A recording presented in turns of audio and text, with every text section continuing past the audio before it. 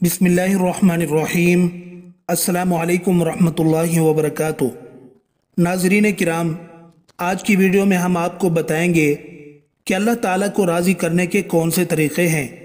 Video को आखिर तक ज़रूर देखिएगा, क्योंकि बाज़ आमाल तो इतना आसान है कि आप सुनकर अश अश कर उठेंगे। रसूल अकरम शफ़ी आज़म सल्लल्लाहु अलैहि वसल्लम ने साहब इकराम रिजवान की एक जमात से इस्तफसार फरमाया तुम लोग क्या हो?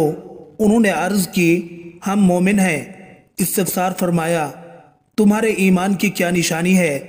अर्ज़ की, हम आजमाइशों पर सब्र करते हैं, आसूदगी में शुक्र इलाही बजा लाते हैं और रब ताला की तकदीर पर राज़ी रहते हैं। आप सल्लल्लाहु अलैहि वसल्लम ने फरमाया रब काबा की कसम, तुम मोमिन हो। अल्लाह ताला की रज़ा पर राज़ी रहने के फ़जाइल पर गौर कीजिए। रसूलुल्लाह सल्लल्लाहु अलैहि वसल्लम की तीन हदीसें पेश खिदमत हैं। आप सल्लल्लाहु अलैहि वसल्लम ने फरमाया, खुशखबरी है उस शख्स के लिए जिसको इस्लाम की हिदायत दी गई और उसका रिज्क बकदर किफ़ायत है और वो उस पर राज़ी है।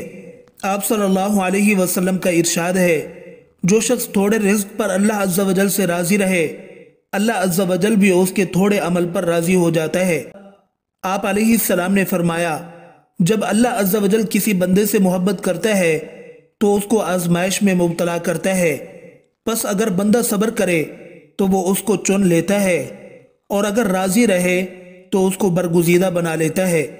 रब ताला को राज़ी करने के वो तरीक़े, जो अहादीस में बयान किए गए हैं। नंबर एक, क्यों और कैसे को अपनी ज़िंदगी से निकाल दीजिए? क्यों और कैसे? ये दोनों अल्फाज रज़ा पर राज़ी रहने के ख़िलाफ़ हैं।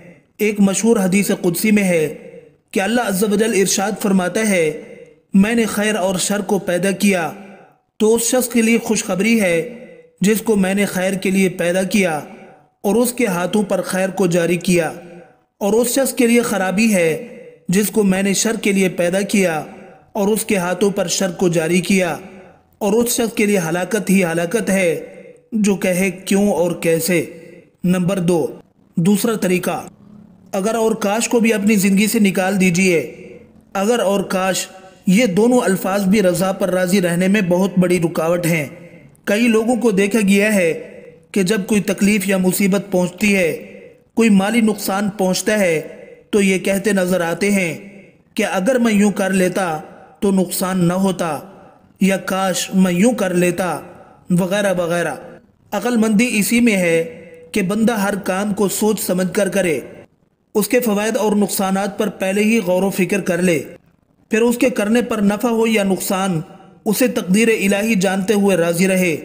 उस पर शिकवा शिकायत न करे, वह वेला न मचाए, बल्कि ज़ाहरी इसबाब को इख्तियार करते हुए आइंदा के लिए कोशिश करे।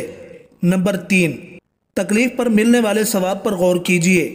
तकलीफ़ पर मिलने वाले सवाब पर गौर करने से रज़ाई इलाही पर राज़ी रहने में मदद मिलेगी।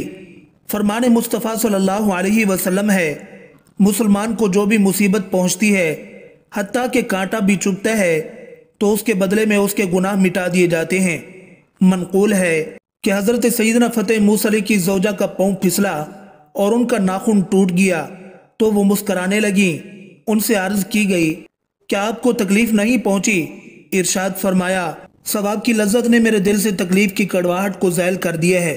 नंबर चार। अल्लाह को राज़ी करने का एक आसान तरीक़ा उसकी शुक्रगुजारी है।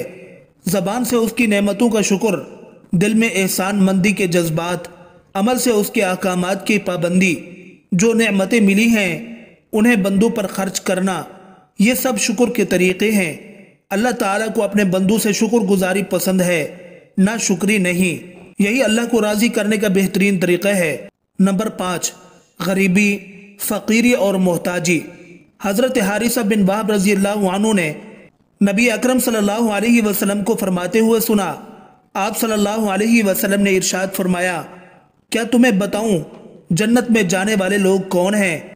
साहबा कराम ने अर्ज़ किया, क्यों नहीं?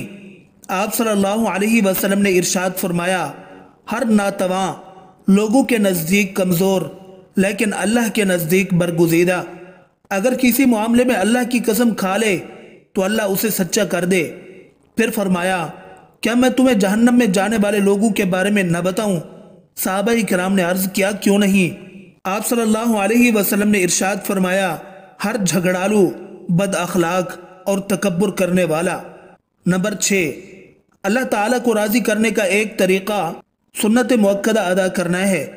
हज़रत उम हबीबा रज़ी अल्लाह रसूल अकरम सल्लल्लाहु अलैहि वसल्लम की जौजा मोहतरमा से रिवायत है कि उन्होंने रसूलुल्लाह सल्लल्लाहु अलैहि वसल्लम को फरमाते सुना कि जो शख्स रोज़ाना अल्लाह की रज़ा के लिए फ़र्जों के अलावा बारह रकात नवाफिल अदा करता है, अल्लाह ताला उसके लिए जन्नत में एक घर बनाता है। सातवां तरीका शिरक से बचना, नमाज़ और ज़क़़त की अदायगी करना और सिला रहमी करना। हज़रत अबू अयूब रज़ी अल्लाह कहते हैं कि एक आदमी नबी करीम सल्लल्लाहु अलैहि वसल्लम की खिदमत में हाजिर हुआ और अर्ज़ किया मुझे कोई ऐसा अमल बताइए जो मुझे जन्नत के करीब और जहन्नम से दूर कर दे। आप सल्लल्लाहु अलैहि वसल्लम ने इरशाद फरमाया, अल्लाह की बंदगी कर और उसके साथ किसी को शरीक न ठहरा। नमाज़ कायम कर, ज़क़़त अदा कर और रहम वालों, यानी रिश्तेदारों से ताल्लुक़ कायम रख।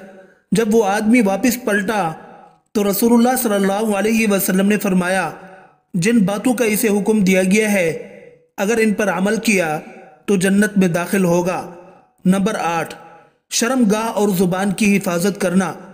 हज़रत साल बिन साद रज़ी अल्लाह कहते हैं, रसूलुल्लाह सल्लल्लाहु अलैहि वसल्लम ने फरमाया, जो शख्स मुझे ज़मानत दे उस चीज़ की, जो दो जबड़ों के दरमियान है, यानी ज़ुबान, और उस चीज़ की, जो दो टांगों के दरमियान है, यानी शर्मगाह मैं उसे जन्नत की ज़मानत देता हूँ।